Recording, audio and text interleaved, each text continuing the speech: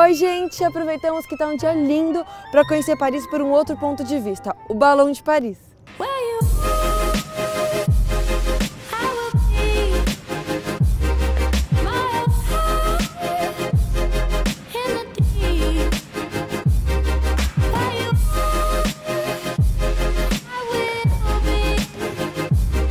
Já estou aqui dentro do balão, cabem 30 pessoas no máximo.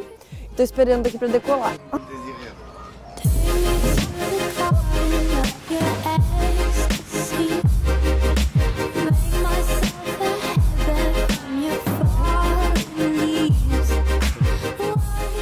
São 150 metros de altura.